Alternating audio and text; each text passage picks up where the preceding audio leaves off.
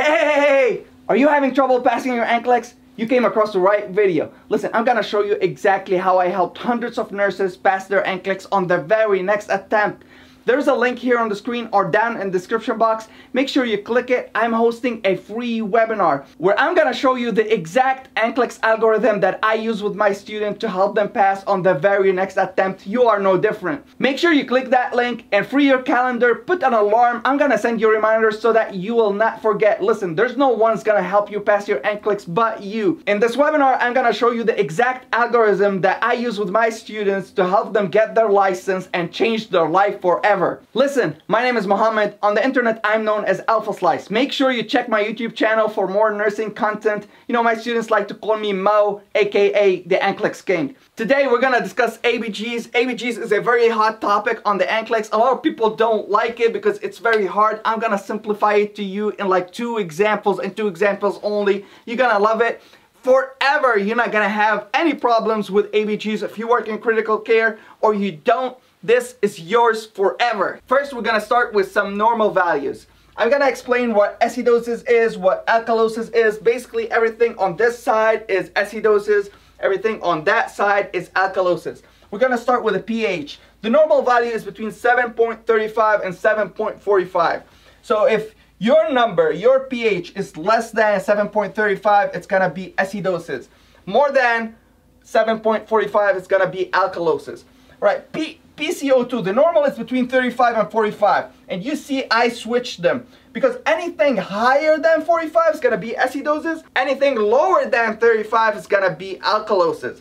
The CO2 is similar to the pH. So anything lower than 22 is going to be acidosis. More than 26 is going to be alkalosis. Make sure you understand those to the T. You need to memorize your normal values. There are three of them, memorize them by heart. So I put an example here on the screen. With two examples, I'm gonna explain everything you need to know about ABG's interpretation. First off, we're gonna start with this example. So the pH is 7.23. The PCO2 is 48, HCO3 or the bicarb is 29. So basically the rule that we're gonna use is tic-tac-toe. A lot of you guys have played tic-tac-toe when you were young. So it's this grid. In the middle, we're gonna put normal acidosis right here, and alkalosis on the other side. Alrighty? So we've got that example right there. pH is 7.27. So it's less than, so it's gonna be right here. Let me use the red pen. It's gonna be right here. So it's acidotic. So I'm gonna put pH right here because it's acidotic.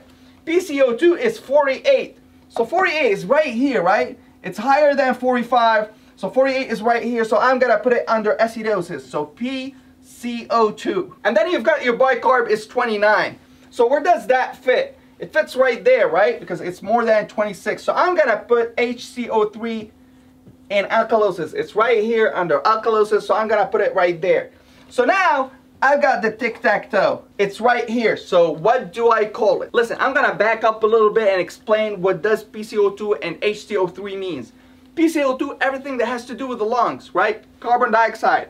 CO2 is bicarb, everything that has to do with kidneys and other organs. So everything that has to do with CO2 is gonna be respiratory, everything that has to do with bicarb is metabolic. Let's get that out of the way. So now back to our example. The pH and PCO2 is under acidosis. So it's gonna be respiratory acidosis, right? So now we want to know if our ABGs is partially compensated, fully compensated, or uncompensated. How do I know that? Listen, so since the bicarb is abnormal, that means that the kidneys are doing something to compensate for the lungs, right? That means it's partially compensated. So I'm gonna write partially compensated. But if the HCO3 was normal, then it is uncompensated right? It is uncompensated respiratory acidosis. See? See how you can tell the difference? If it is abnormal, that means the kidneys are doing something to compensate for the lungs. So it's partially compensated.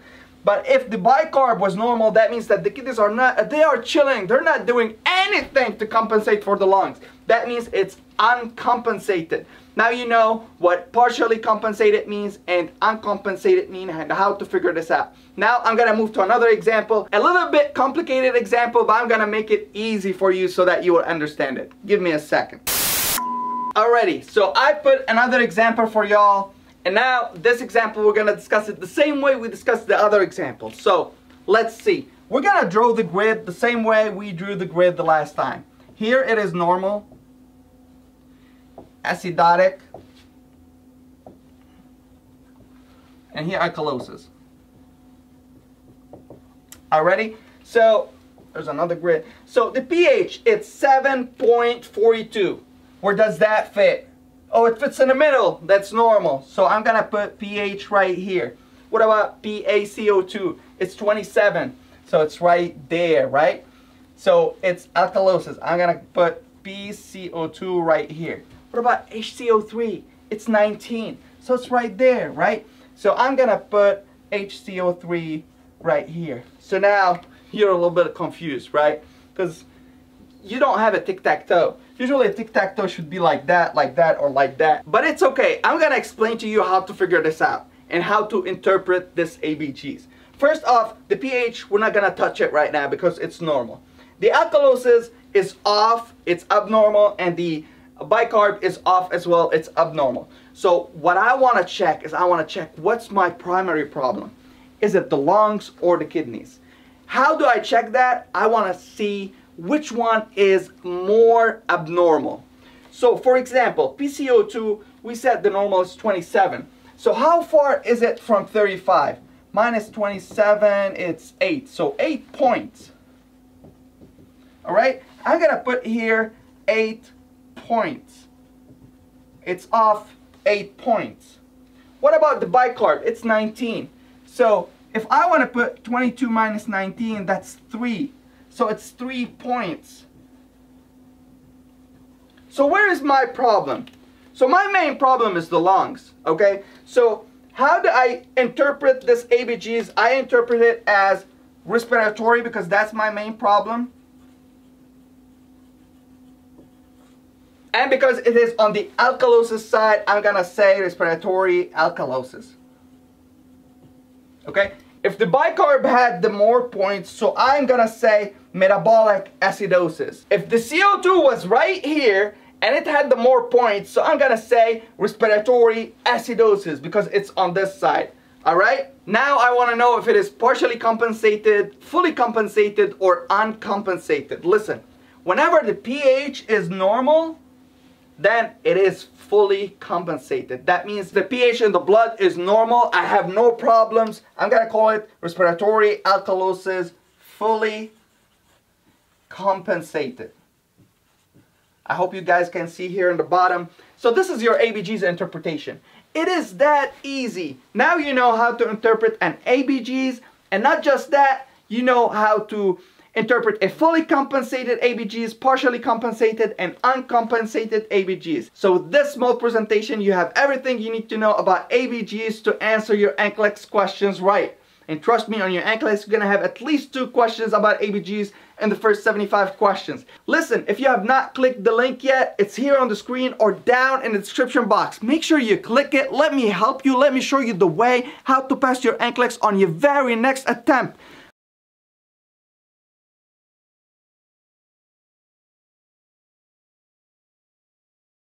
I helped a lot of nurses pass their NCLEX and you are no different. Click that link, let me show you the NCLEX algorithm. It's totally free. You just need to attend. Put it on your calendar and listen. I will see you inside the webinar.